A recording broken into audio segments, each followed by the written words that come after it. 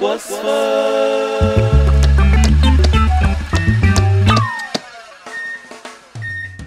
تورتة الكريب بكريمة الموز. المقادير للكريب الأول محتاجين كوباية دقيق بيضة كوباية ونص لبن معلقتين كبار سكر فانيليا معلقة كبيرة زيت معلقة كبيرة زبدة سايحة. للكريمة هنحتاج كريمة مخفوقة بودرة كريم شانتيه لبن مكثف محلى قشطة قرفة موز ويكون مستوي. للتزيين هنحتاج كريم شانتيه وفستق مجروش. تعالوا نشوف هنعمل الكلام ده إزاي.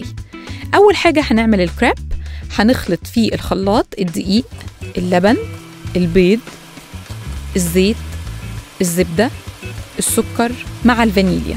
هنضربهم كويس جدا هنصفيهم هندخلهم التلاجة عشر دقايق. بعدها هنطلعهم نجيب الطاسة نسخنها ندهنها بالزبدة ونبتدي نسوي الكريب وطبعا يكون رفيع. أما نخلص كمية الكريب كلها هنبتدي نجهز الكريمة. هنحط كريمة الخفق مع بودرة الكريم شانتيه هنضربهم يبقوا كريم شانتيه جامد شوية ماسك نفسه. ننزل عليه القشطة الفانيليا اللبن المكثف المحلى الموز اللي هرسناه جامد جدا والقرفة.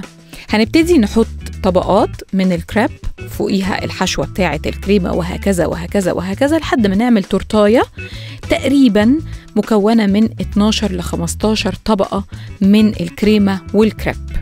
بعد كده هنزين الوش بتاع التورتاية بالكريم شانتيه والفستق المجروش وبألف هنا وشفا. وبكده سفرتنا تبقى جاهزة. وصفة.